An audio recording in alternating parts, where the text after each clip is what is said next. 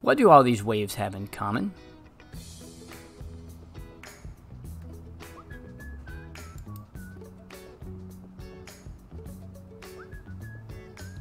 They are all transverse waves.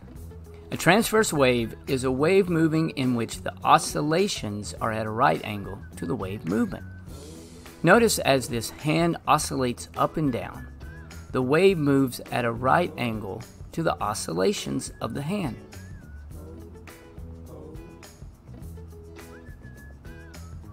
Let's take a look at the anatomy of transverse wave. The crest is the highest point of the wave. The trough is the lowest point of a wave. The resting point, also called the undisturbed position, is the position the medium would take if there was no wave. It is represented on a graph by a line through the center of the wave. The propagation is the direction of the wave. Wavelength, represented by the symbol lambda, is the distance of one wave, and it's measured from trough to trough or from crest to crest with a transverse wave.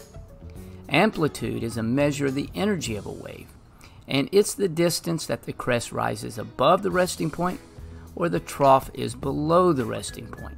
The more energy a wave carries, the greater the amplitude. Frequency is the number of waves that pass a fixed point each second, and it's measured in hertz. For a transverse wave, you can count the number of crests or troughs that pass a certain point.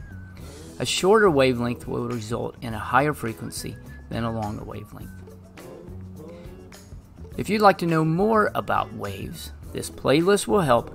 And as always, thanks for watching, and Moo Math uploads a new math and science video every day. Please subscribe and share.